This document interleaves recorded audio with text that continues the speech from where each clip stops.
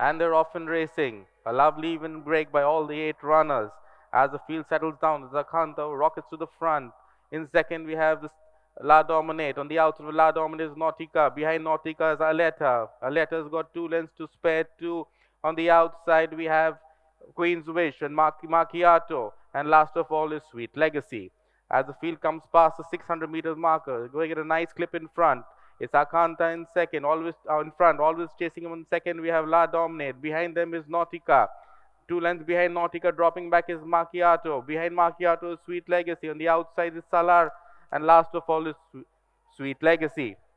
As the field comes past the thing and take the final home run, it's La Dominate who comes and takes over the running from Aleta fighting back in second. Is La Dominate length behind. We have four lengths behind on the outside is Nautica. It's La Dominate stolen the march, has gone four, five lengths clear of uh, Akanta and second and moving off fast on the outside is Nautica. It's La Dominate from Nautica. La Dominate is going to win this race comfortably from Akanta, La Macchiato and Nautica in close finish. We have fifth, we had Sweet Legacy, Aleta, Queen's Wish and last of all was Salar.